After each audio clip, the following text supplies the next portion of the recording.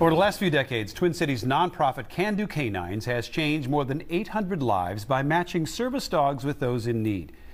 But what many do not know is the story of the dog trainers behind the scenes to make it all possible. Even while incarcerated, these men are making a difference in the lives of people with special needs.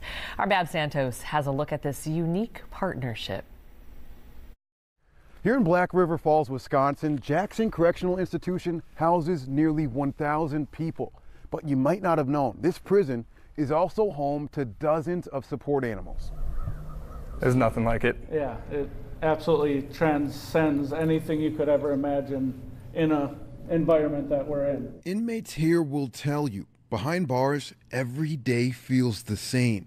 But now, with 60 to 100 dogs in seven prisons between Minnesota and Wisconsin, and we are going to start off with just doing a little bit of loose leash walking. every day is different. It's amazing. It's like learning a whole new language and a whole new culture. Can Do Canines coordinator Diane Larson comes in once a week and lays the foundation. And I want you just to get them to spin in a circle. From there, the inmates return to their cells to build each puppy up into a service dog with about 70 commands. I always say it's like like living with a roommate and a dog in a room the size of your bathroom.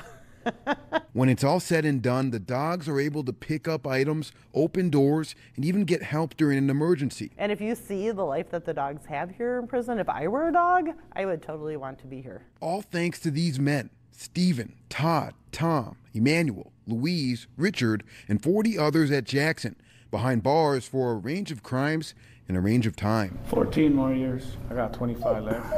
A little over eight years left. So go ahead and tease. To get into the program, the men must pass an extensive screening.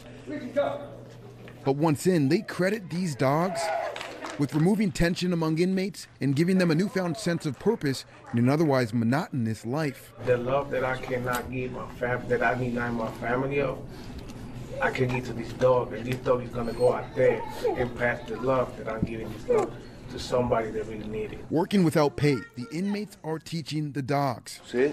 But the dogs are teaching them too. I think you become um, selfless as opposed to uh, starting out as, as being selfish. I can already feel this the, an empathy building within me by putting her first. After six months, the dogs move on, eventually match with a person with special needs, bringing some crucial help to families impacted by autism, diabetes, seizures, hearing loss, or immobility. We truly understand how deep this goes. And that we care. It means a lot to us. It's remarkable. it just warms your heart, makes you proud that, you know, I had a part in helping that dog and helping that person, you know. Back in New Hope, Can Do Canines is a nonprofit making it all happen, providing the dogs that would normally cost about $45,000 now free of charge.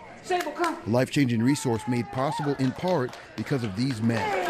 Inside Jackson Correctional Institution, What's this? Babs Santos, Yes. What's that? Fox 9.